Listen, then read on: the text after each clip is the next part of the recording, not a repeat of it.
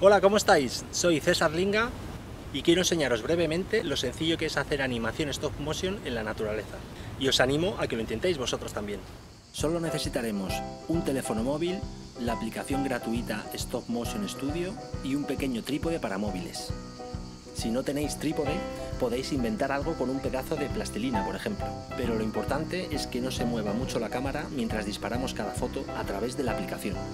Para empezar con algo fácil he encontrado estas piedras que harán de personajes y utilizaremos como decorado un parque cualquiera. Y en cuanto esté todo preparado, ¡empezamos!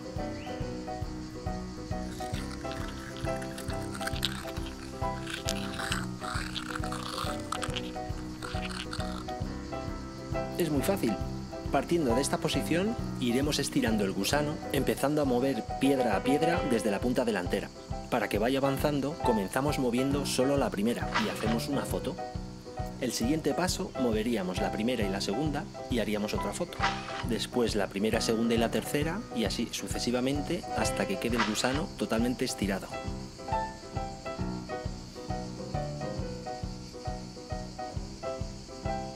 Cuando llegamos a esta posición con las piedras separadas, lo que hacemos es dejar la primera piedra quieta, lo que sería la cabeza del gusano. Y el resto de piedras las vamos a ir juntando poco a poco hacia adelante hasta que se amontonen una encima de otra. Y así hasta que lleguemos a la posición inicial y entonces repetiremos el proceso hasta que el gusano atraviese el camino. No os preocupéis si tenéis algún problema para encontrar piedras tan grandes porque también podéis usar patatas o cualquier cosa que tengamos a mano.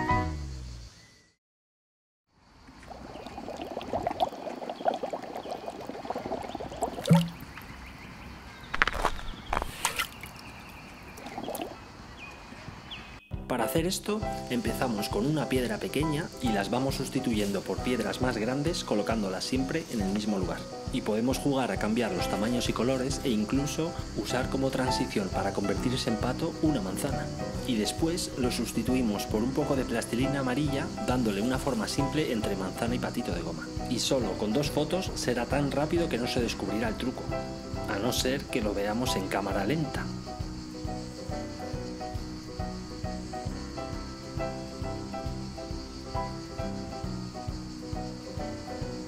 Para esta parte haremos lo mismo.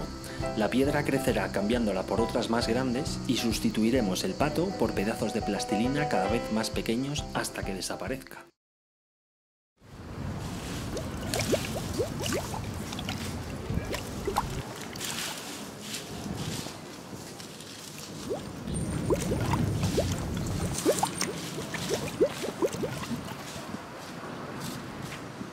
Esto puede parecer complicado, pero os aseguro que es muy fácil. Solamente hay que hacer círculos concéntricos con las hojas. Las vamos abriendo poco a poco y cuando tengamos un círculo amplio empezamos a crear otro interior simulando ondas de agua. Y para terminar, también podéis probar a crear una hoguera sustituyendo hojas secas. Estos son algunas ideas, pero seguro que paseando se os ocurren otras animaciones. Ahora os toca a vosotros. Bueno, pues eso es todo. Espero que os haya gustado y que os animéis a participar en el reto animario Plaza Río 2. ¡Nos vemos! ¡Anima tus ideas y compártelas!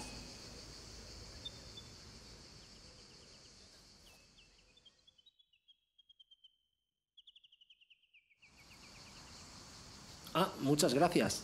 Recuerda ponerte tu mascarilla.